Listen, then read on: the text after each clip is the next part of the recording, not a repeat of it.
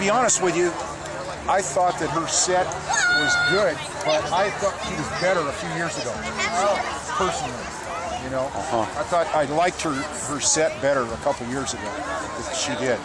How does it feel to be at the fair on a full moon with your birthday? This is an epic conclusion to a long and fruitful life.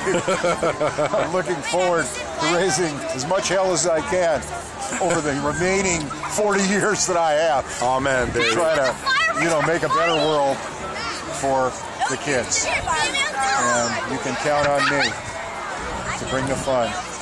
And the Joan Jett it. show. What was the high point of the Joan Jett show tonight? Uh, I hate myself for loving you.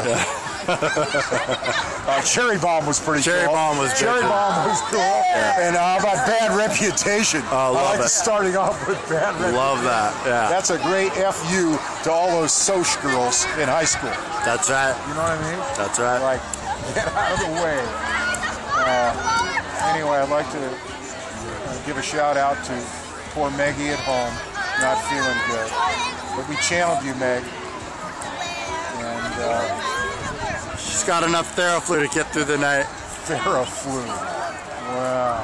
Funky. Funky, funky.